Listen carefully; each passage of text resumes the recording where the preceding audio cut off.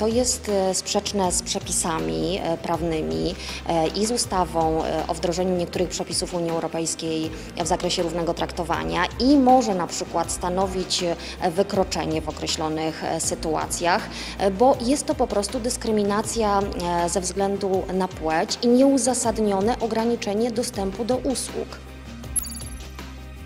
Dla małego dziecka, ale także dla mamy, która ma małe dziecko, karmienie piersią jest najlepszą rzeczą, jaka może między tymi dwiema osobami się zdarzyć. A dla nas wszystkich ym, to po prostu powinna być radość. Jeśli ktoś nie chce, to może nie patrzeć. Ja po prostu nie rozumiem nikogo, komu przeszkadza e, taka sytuacja. To jest zupełny skandal. Dziecko ma prawo do bycia karmio, karmionym piersią, a matka ma prawo karmić swoje dziecko piersią.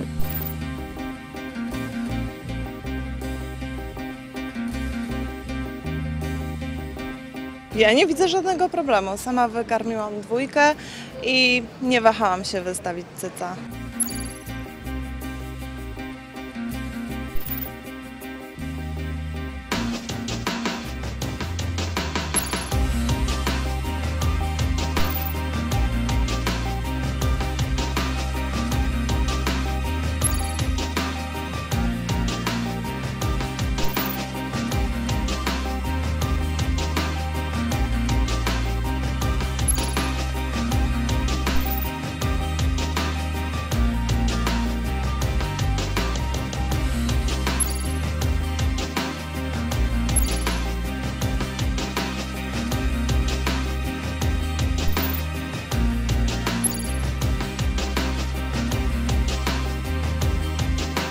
Jestem przeciw tego, Dlaczego?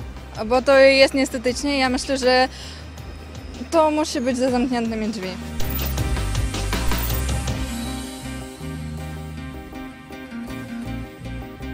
Karmienie piersią jest sprawą zupełnie naturalną i powinniśmy na to reagować tak samo naturalnie jak na jedzenie hamburgera w miejscu publicznym.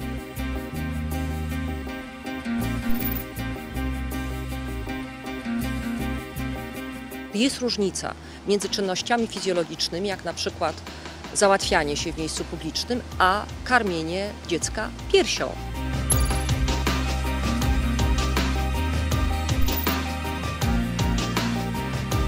Dziecko jest głodne, trzeba je nakarmić.